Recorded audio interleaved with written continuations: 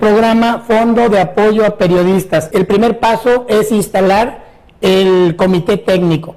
Y ese comité técnico tendrá una mesa permanente de trabajo donde cualquier periodista, hombre o mujer, que presente un proyecto, se va a revisar y si el proyecto es viable, ahí está el recurso para que ese proyecto salga adelante. ¿Por qué en el comité técnico no participa ningún periodista? Simple y sencilla la razón, en la ley viene en las reglas de operación quienes deben formar parte de ese comité técnico. Lo que sí tengo que hacer es impulsar proyectos que generen mejor calidad de vida de un gremio, de un sector tan importante de la sociedad como es el sector y el gremio de los periodistas.